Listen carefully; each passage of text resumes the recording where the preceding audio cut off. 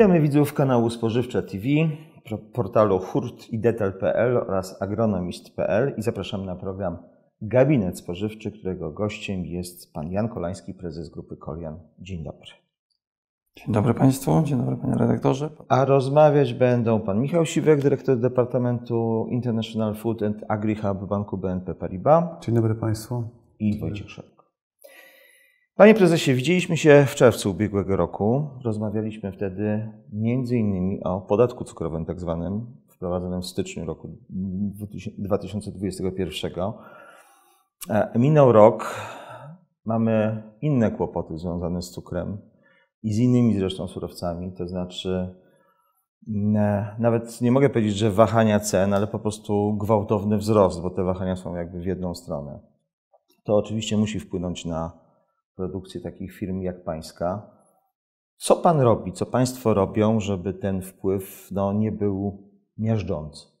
Co można zrobić? Można powiedzieć, że nic, no bo my nie mamy wpływu na to, jaka jest cena cukru. My go nie produkujemy, produkują go cukrownie. Natomiast w ostatnim e, czasie nie tylko cena cukru drożeje, drożeją również i inne e, surowce, e, również drożeją nośniki energii, jak, jak energia elektryczna czy gaz, które mają ogromny wpływ na, na koszty, koszty wytworzenia. Dużym problemem, szczególnie dla naszej firmy, był podatek cukrowy, dlatego że do podatku cukrowego o sieci również założyły marże i do tego doszedł podatek VAT-owski. Cena na półce zmieniła się praktycznie o, o 100% co spowodowało drastyczny spadek e, sprzedaży.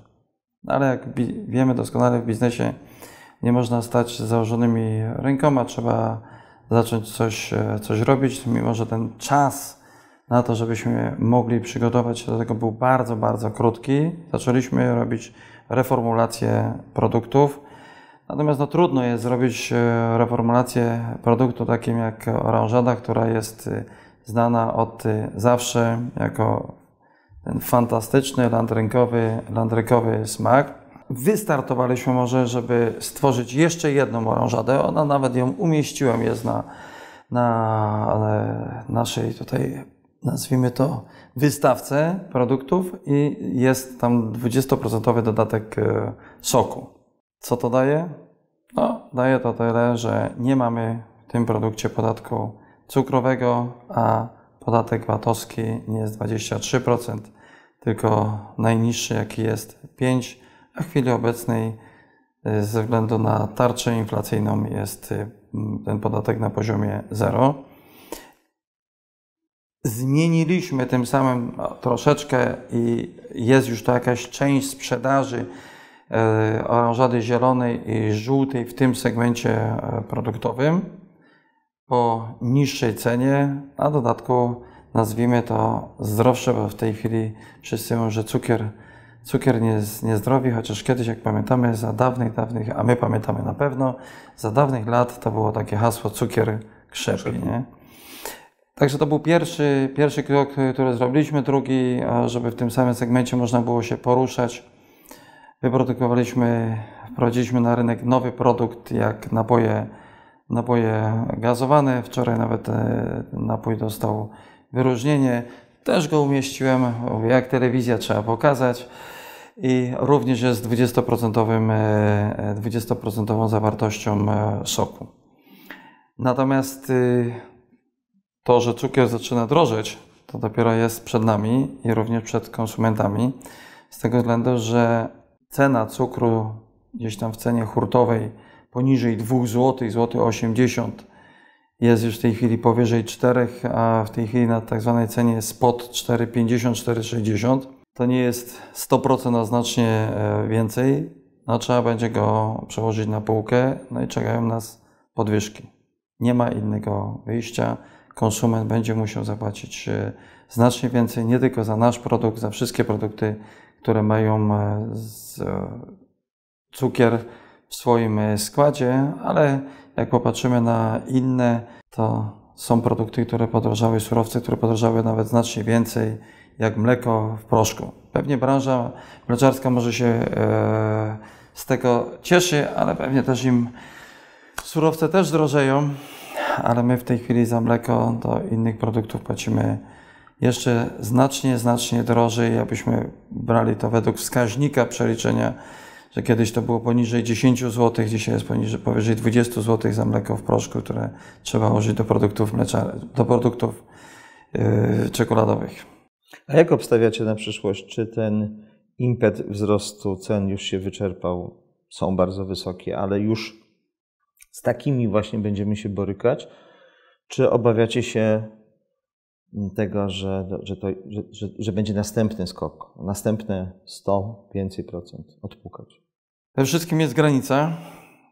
Oceniamy, że one jeszcze, jeszcze mogą iść odrobinę do góry, w zależności jaka, jaka będzie inflacja, jaka będzie wzrost inflacji kosztów wytworzenia, bo to jest e, razem z tym wszystkim powiązane. Dzisiaj głównym nośnikiem kosztów inflacji jest na pewno gaz, który, na którym jest oparta produkcja nawozów, a nawozy są jednym pewnie głównych składowych kosztów wytworzenia różnych, różnych produktów, czy to produktów e, roślinnych, czy, czy zwierzęcych i one się przekładają później na cenę końcową już danego surowca, czy kosztu wytworzenia danego produktu.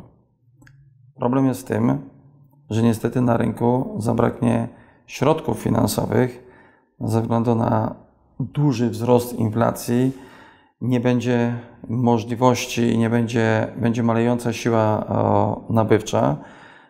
I w Polsce w chwili obecnej ta siła nabywcza jest dosyć duża, bo mało kto na to zwraca uwagę, ale 10% zwiększyła nam się prawie populacja przez ostatnie 6 miesięcy. Co za tym idzie, o 10% zwiększyła nam się też siła, siła nabywcza, a szczególnie w obszarze rynku rynku spożywczego. To też spowodowało wzrost, y, wzrost cen surowców, no i co za tym idzie też y, opakowań. Jest to taka mała, mm, mała karuzela. Natomiast y, no, w przypadku, naszym przypadku przedsiębiorców, a szczególnie w branży, które my, my reprezentujemy, ten biznes stał się dosyć trudny. On nie, już nie jest, nie, to nie jest taka frajda, jak była kiedyś prowadzenia biznesu i duża duża satysfakcja, bo dzisiaj my jesteśmy obijani ze wszystkich stron, których tylko jest możliwe, bo najpierw ze strony dostaw, później energii, gazu, do tego dochodzą e, paliwa, a co za tym idzie, my mamy mniejszą siłę negocjacji niż e, ogromne sieci, które są, są na rynku i one dyktują ceny. To nie my wyznaczamy finalną e, cenę, tylko wyznacza sieć. My sprzedajemy po określonych cenach, sieć dokłada swoją, e, swoją marżę. Także często, często to jest dosyć, e, dosyć trudne, dosyć trudne, żeby można było bardzo dobrze, długoterminowo zaplanować biznes i ustawić strategię, którą, którą będzie było można realizować jeszcze kilka lat wstecz. Panie prezesie, odwołam się do innego wywiadu, co prawda nie z nami, ale w lutym tego roku powiedział Pan dosyć odważnie, jak na takie wypowiedzi przed kamerą, bardzo transparentnie, że mamy do czynienia z bardzo poważnym e, kryzysem. Wtedy można powiedzieć, że część odbiorców mogła potraktować to jako pewnego rodzaju Czarnowictwo. Zbyt mocne, zbyt mocne stwierdzenie, czy jakieś takie marudzenie, jakby to powiedzieć kolokwialnie. No dzisiaj jest pełna zgoda, pełen konsensus, że mamy do czynienia z bardzo poważnym kryzysem gospodarczym. Wspomniał Pan rosnące ceny surowców, rosnące ceny energii, problemy z dostępnością pewnych surowców, chociażby papier, opakowania. E, jednocześnie wspomniał Pan też już trochę w tej wcześniejszej wypowiedzi o, o relacjach z, z odbiorcami, z sieciami handlowymi. To pytanie, dwa elementy, o dwa elementy chciałem zapytać. Jak Państwo sobie radzicie w tej sytuacji? A drugie, e, faktycznie jak wygląda transmisja cen, o ile podnieśli Państwo już ceny swoich e, wyrobów do, do, do, dla konsumenta e, i kiedy oczekujemy, bo myślę, że nie ma co pytać czy, tylko kiedy, będziemy, kiedy planują Państwo kolejne podwyżki? Podwyżki są nieuniknione. Jeżeli ich nie zrobimy i nie wdrożymy, to się no nie zetnie pienem. Tak, to nie, to nie przeżyjemy. To trzeba już powiedzieć sobie wprost. Koszty, koszty o, rosły w ostatnim czasie lawinowo, nawet bardziej niż, e, bardziej niż lawinowo. No i wiadomo, że stwierdzenie faktu o czasu przeszłego jest dosyć łatwe, natomiast przewidzenie e, przyszłości jest dosyć, e, dosyć trudne. Według mojej oceny sytuacja w gospodarce na rynku będzie bardzo trudna ze względu na dużą inflację i malejącą siłę nabywczą. My jesteśmy w segmencie produktów, e, które może nie są pierwszej potrzeby, ale, ale no trzeba, żeby funkcjonować, trzeba, e, trzeba coś tam konsumować, trzeba jeść. E, I tu mamy tą dobrą sytuację. Być może, że jak nie ma, że ze sprawi dużej przyjemności, to chociaż tą drobniejszą kupić coś fajnego, co sprawi Ci chociaż odrobinę, odrobinę przyjemności. E, ze względu na to, że na rynku zabraknie środków finansowych, a w tej chwili powiedzmy, że czerpiemy jeszcze dosyć dużo i wiele osób czerpie jeszcze z zapasów, które, które ma, na pewno nastąpi to w jakim czasie, trudno jest y, powiedzieć, natomiast jest nieuniknione, że powinniśmy wszyscy walczyć z tym, żeby, żeby wstrzymać e, inflację, bo inflacja w żadnej gospodarce, która by była i również w branży spożywczej nie jest e, motorem napędowym, a wręcz, wręcz odwrotnie. Zmierzając jak gdyby do takiego konsensusu, do pańskiego, pańskiego pytania, mamy jeszcze trudniejszą sytuację niż to była wtedy, kiedy mówiłem w lutym.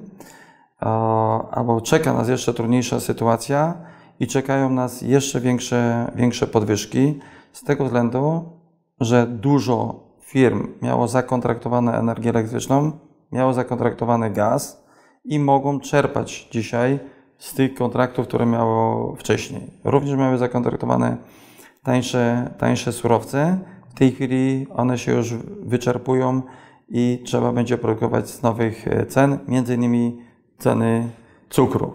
Ze złoty 80 na 4,60 nie trudno, nie trudno policzyć, ile może o, każdy produkt zdrożyć, bo zazwyczaj ilość składu w składzie jest podany, jaki jest y, procent BRICS-ów. E, ja tutaj nie widzę możliwości, żeby był inny sposób. Ewentualnie no, można ograniczyć ograniczyć e, niektóre, niektóre koszty, takie jak koszty, koszty marketingu, ale wiemy doskonale, że ograniczenie kosztów marketingu też jest krótkoterminowo na jakiś bardzo, bardzo krótki okres czasu.